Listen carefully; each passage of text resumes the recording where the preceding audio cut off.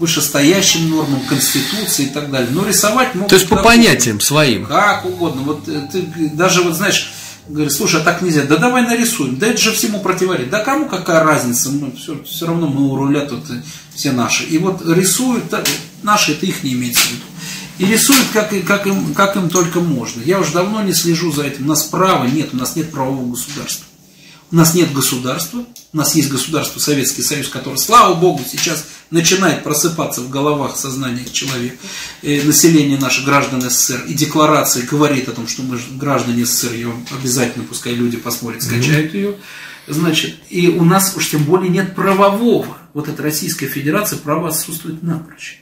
Вы же поймите, вот я сам проходил, участвовал в судах, но это шапито. Я не хочу оскорбить суды, ни в коем случае. Я говорю о том, трактую те факты, которые я там увидел. С моей точки зрения, я все-таки э, являюсь в международном уровне правозащитником, да, и знаю, что такое право, и как надо по праву проступать. Правда, это прежде всего надо иметь совесть, надо иметь э, понимание правды. Ну, то есть внутреннее, да, праве, чувство, да. да. Это иметь надо стержень вот это. Прежде чем ставить какие-то весы, должен стержень иметь, вот этот стерженек. А там стерженька-то нет, там как хочешь, так и наклоняются они, понимаешь? Вот, поэтому. вот. я посмотрел на это все, поглядел на всю эту постоянную заказуху. Это не секрет, об этом знает 99% общества. 99%. И говорят об этом постоянно. И я понял, что прав нет никакого. Изучив вообще отсутствие районных судов, которые людей до сих пор отправляют за решетку своим решением, а его нет нигде, ни в какой норме права. Нет его ни в Советском Союзе, подчеркиваю, нет его в Российской Федерации, он аннулирован. То есть полномочия... Регистрации нигде этих судов нету. Полномочий, у ни одного судьи вы не найдете полномочия. Вы запросите, чтобы одна судья вам хотя бы предоставила ксерокопию, подписанную президентом, Нет. о его назначении. Нет. Хотя это предусмотрено законом. Нигде не найдете, вам никто не предоставит. Кто это сидит черном халате перед вами? Может, это демоница какая-то или демон? Вот, если он не может подтвердить свои полномочия и начинает распоряжаться, там, арестовать тех, тех, кто прям в суде, кто запрашивает у него эти полномочия в рамках закона. Что они себе позволяют, кого они себе возомнили. Потом, смотрите, какая ситуация интересная. Начинаешь проверять, нет районных судов. Начинаешь задавать вопросы районным э, председателям судов. А вы на каком основании-то? Вас, вас в адресной книге, в регистрации в налоговой нету. В ГРН у вас нету никого. Вы, вы, Нет, да вы как государственный орган не записаны. А, да как государственный орган не записан. Вы где присутствуете? На основании, на основании положения судебном департаменте. То есть сидит судья, якобы судья в кавычках, который не может подтвердить своих полномочий. Сидит прокурор такой. Сидит, ну прокурор отдельная история. Значит, смотрим э, дальше. Э, дом, это здание, оно, э, оно нигде не зарегистрировано. Это здание, нету официального адреса, потому что нет регистрации районного суда в налоговой инспекции, и нету ГРН на него. При, пришлите, может, документ какой-то, ссылочки пришлете, мы будем следить вот за, за, за этим выступлением. Но этого ничего нет. Как они осуществляют? Это значит что? Это значит, нет правового государства. Грефа конкретно, вот э, его уже пророчили, что он уже уйдет, его снимут, и получается, что пока это только слухи. А, знаете, Почему слова так власть, которая не может навести порядок? Для, для, для меня Греф, вот для меня лично, как для казначея М1, очень мелкая сошка и очень мелкая фигура в плане финансового. Ну а как вы будете Финан... я, да. я не говорю, как я не хочу оскорбить Грефа. Да. Э, здоровый он, больной, там, какой бы еще, он все-таки вот э, на вид похож на человека. Да? Я не имею права его никак оскорблять над ним, издеваться. Как вы будете бороться за свои права? Сейчас одну секундочку, я вам отвечу сейчас, все, что я хочу сказать. Вот. Но тем не менее, им сейчас занимается вот той проблемой, которая у нас есть э, к Сбербанку, да, мы изучаем глубинно все эти вопросы. Э, занимается сейчас у нас правовое управление, международное правовое управление э, международного казначейства М1. И как там идут дела, ну я что-то знаю, но не могу сейчас пока это дело разглашать. Но я вас я вам гарантирую, что где-то в течение двух недель я дам вам очень серьезное интервью. Не я, или я, или какие-то наши да. сотрудники дадут. Оно неизбежно, оно уже, работа была проведена, сделана, и независимо, я его буду давать, не я, оно уже есть. Но пока не время, есть свои, так сказать, процессуальные моменты, которые надо соблюсти. Вот. И э, я хочу вам сказать только одно, что куда бы его там кто пророчил, не пророчил, он мне мало интересен, вот лично мне. Угу. Лично мне интересен мало. Не, ну мы ждем перемен хороших. А, я всегда, я оптимист, сам иду, как говорится, светом, в свете со светом и к свету, и так стараюсь идти, и всем так желаю, значит, э, и э, то, что будет э, все по-светлому, это да, но чтобы стало по-светлому, ну, нужно немножко, как говорится, это поработать, всем поработать, обществу, прежде всего над собой. Всем людям надо поработать над самим собой, сломать у себя скобки, зомбировки вот эти, которые нам с экранов телевизора понавешены, и научиться проверять всю информацию. Не надо мне даже доверять, надо проверять то, что я говорю. Может, я ошибаюсь, я человек склонен ошибаться, но я это делаю не, не из каких-то корыстных побуждений, я просто изъявляю свое мнение. И говорю тут на основании, основываясь свои предполагает, высказываю свои предположения на основании той информации, которая мне поступает, и как я вижу этот окружающий мир и так далее. Может быть, я в чем-то не прав, кто-то может со мной не согласиться. Это дело права каждого человека. Поэтому, что будет с Грефом, мы с вами скоро увидим. А скажите, вот эта ситуация с климатом, какие-то, ведь э, международное сообщество и сильный мир всего ждут чего-то необыкновенного, то ли войны, то ли падения болида, то ли, не знаю, продолжение ковида. Знаете, что я, они ждут, чего боятся? Я с большим уважением продолжаю относиться к академику Левашову. Угу. Дело в том, что э, те факты, которые показал академик Левашов для человечества, они фантастические. Угу. Был такой случай, когда Левашов находился в Америке, это с рассказа не, даже не самого Левашова, мы с ним как-то не касались этих mm-hmm. разговоров, а с рассказа его, так сказать, э, ну, как бы друзей, близких, mm-hmm. соратников. Э, и был фильм снят на эту тему. На Землю летел, по данным НАСА, какой-то объект, да, тело mm-hmm. какое-то. Ну, то, что они не определяют тело метеоритом, там не метеоритом, да. это дело их. Ну, короче, на 2003 год они пророчили катастрофу, и многие начали там угу. еще глубже зарываться в землю там. Угу. народ фиг с ним сносит, а вот они там где-то в норах спрячутся, выйдут, и все, и у них участки земляные стали, стали больше, да, освобожденные. Так вот, Э, Левашов тогда, в тот момент, э, наспор с академиками в Америке, насколько мне стало известно, сказал, вы видите, летит тело, хотите оно полетит на 90 градусов под углом и не полетит на Землю, изменит свою траекторию. Те посмеялись, он говорит, а давайте это зафиксируем. Вот публично вы здесь ученое сообщество, зафиксируем эту ситуацию и так сделаем. Он говорит, ну хорошо, они зафиксировали все это протоколы, и тут получается, что начали наблюдать, а тело-то на 90% полетел на 90 градусов, полетел в сторону. Они раз сразу и заткнулись. Это кто же тогда Николай Викторович, что может такое говорить и да. Да? Николай Викторович э, высокоразвитый, разумный человек, который, э, значит, начал раскрывать в себе э, сура, сура земли, или руса, так сейчас говорите, который начал понимать вот тайны всей природы космоса, природы, значит, окружающего мира и так далее. Поэтому есть два пути понимания этого. Один путь – это технократический, цивилизации, путем примитивный, mm-hmm. сразу говорю. Все цивилизации примитивны. Потому что это работа только энергии ци. Цивилизации. А инь и янь, как инь и янь, существует ци и че. Отче, чакра, Чур, да, меня, Чур, помнишь, э, в детстве да, говорили, да. Чур это бог, который, ну, домовой его называли, да. который охраняет семью, семью и да. так далее. Вот, вот это чем многомерность. Есть, есть земная концентрированная, так сказать, программа, да, вот этой энергии, ци, цифра.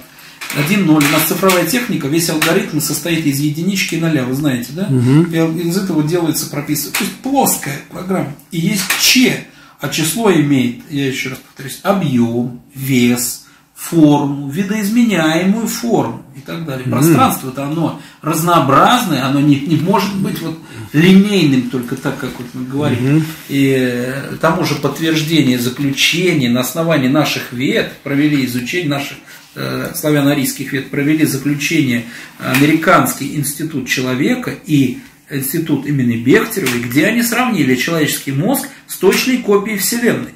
Угу. И где они признали, что нейрон головного мозга это соответствует галактике в макрокосмосе.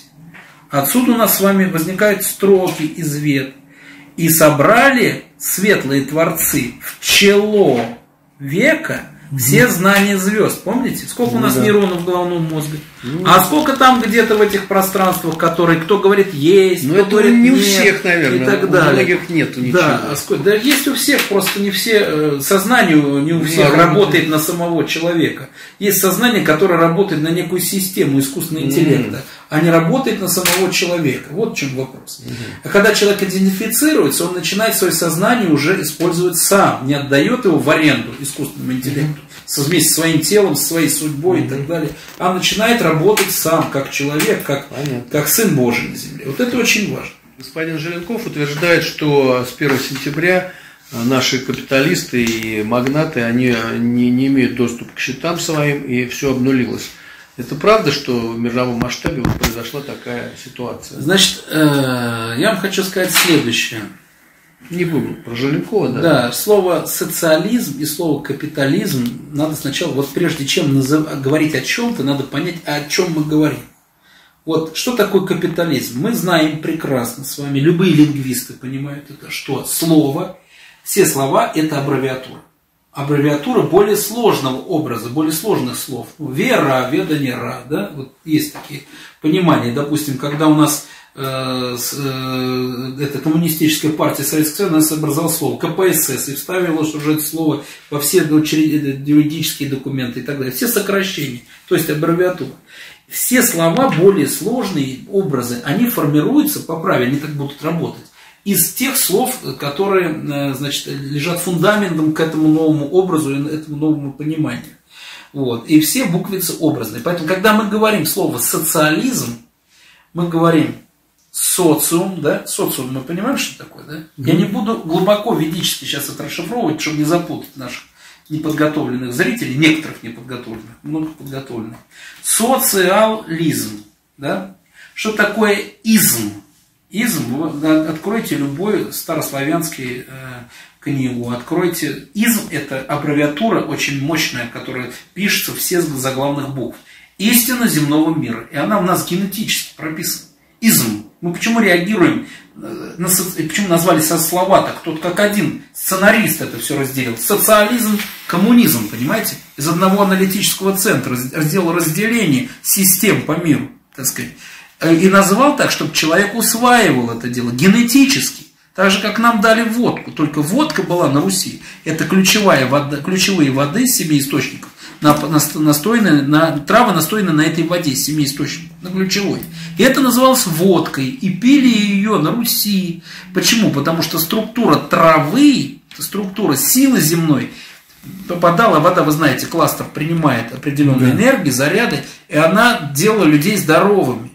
И рождались богатыри поэтому на Руси, потому что пили водку. А нам взяли яд С2H5OH, который сворачивает красные цельца крови, назвали водкой после очередного стирания памяти и быстренько кинули. А человек там где-то глубоко помнит, водка, вроде хорошо. Также социализм и коммунизм. Поэтому социализм – это социум стоит в истине земного мира, то есть человек, семья, общество, нравственность и так далее. И что такое коммунизм, э, вернее, капитализм?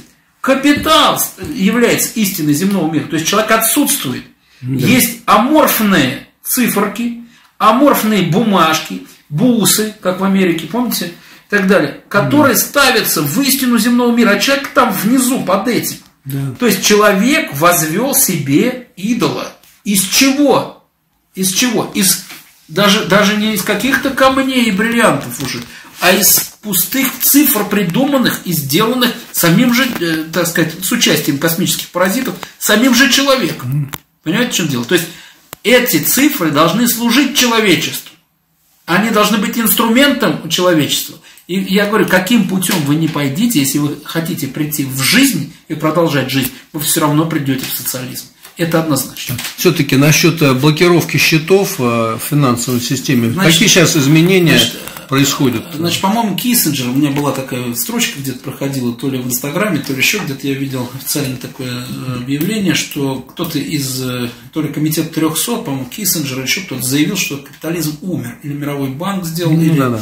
из АМФ. То есть, действительно умер, у него нет продолжения. Дальше, что не соответствует духовной, нравственной, э, божественной, небесной составляющей, оно будет отключаться. Вот этот путь, он ведет к, к уничтожению человечества. Только когда человек ставит себя, себя, своих близких, родных, человек разумный, да, который э, понимает, что такое род, природа, э, животный мир и так далее, вот когда он ставит это высшей ценностью, тогда он, ценя, ценя себя, он и живет. Когда он себя обесценивает и превращает себя в какой-то расходный материал, он себя уничтожает. По-моему, это элементарные вещи, которые э, знает любой первоклассник и даже в садике человек, как мы ему не кривили там новыми программами, значит, вот эти кривдоделы голову, он все равно это понимает. Это естественное право, естественное понимание процесса.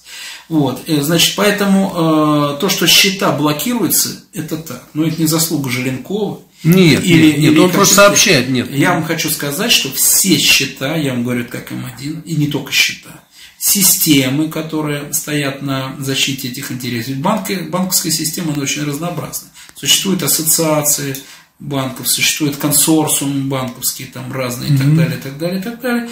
Существует, но все это, есть центр всего этого управления, это компьютер, цифра, это искусственный интеллент. И как бы там ни плясали, без искусственного интеллекта западной цивилизации не существует вообще.